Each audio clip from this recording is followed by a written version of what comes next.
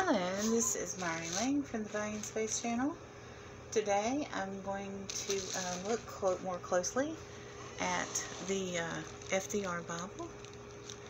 Um, I noticed uh, that it did not have, it's got a little uh, place there that I'm afraid uh, to scrape off because it might damage it.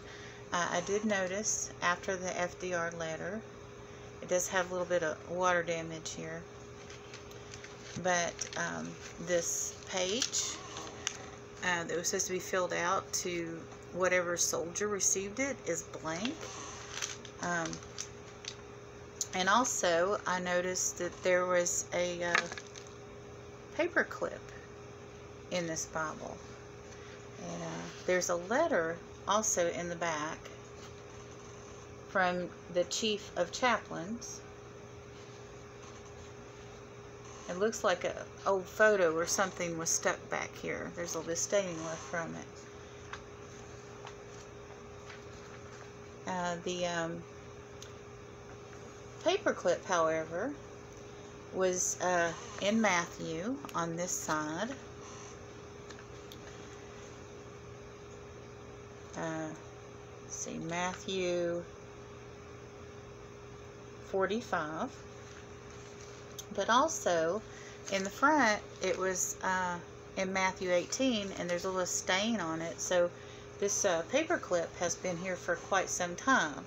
So I'm just going to read to you starting uh, in Matthew 18 and I think this Bible was used uh, to help bring people to Christ. At the same time came the disciples unto Jesus saying who is the greatest in the kingdom of heaven? And Jesus called a little child unto him, and set him in the midst of them, and said, Verily I say unto you, except ye be converted and become as little children, ye shall not enter the kingdom of heaven. Whosoever therefore shall humble himself as this little child, the same is the greatest in the kingdom of heaven. And whoso shall receive one such little child in my name receiveth me. But whoso shall offend me, offend one of these little ones, which believe in me, it were better for him that a millstone were hanged around his neck, and that he were drowned in the depth of the sea. Woe unto the world because of its offenses! For it must needs be that offenses come, but woe to the man by whom the offense cometh. Therefore, if thy hand or thy foot offend thee, cut them off, and cast them from thee.